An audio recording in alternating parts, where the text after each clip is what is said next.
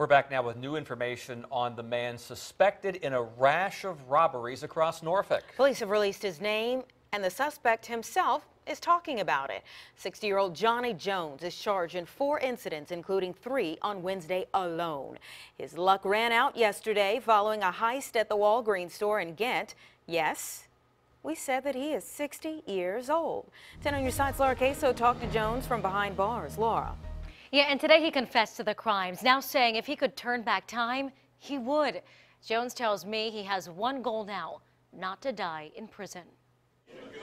Uh, yeah, I, I did. I, I'm guilty of a couple of, yes, sir.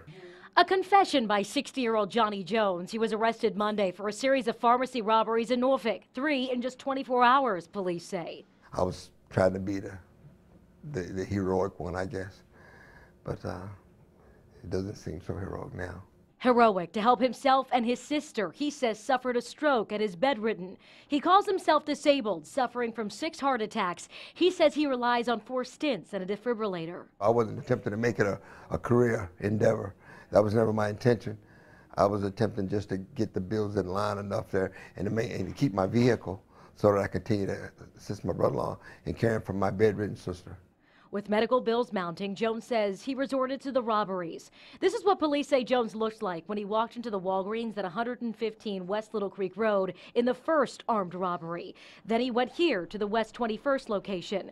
And then police say he went to this CVS pharmacy on East Little Creek Road for the third armed robbery. Well, BB gun. It was in my belt. He also tried to rob a CVS on Lafayette Boulevard, but was unsuccessful, police say. We asked him what happened. I was so lighthearted about it. The young lady, she thought I was kidding. She asked me, Are you for real, for real?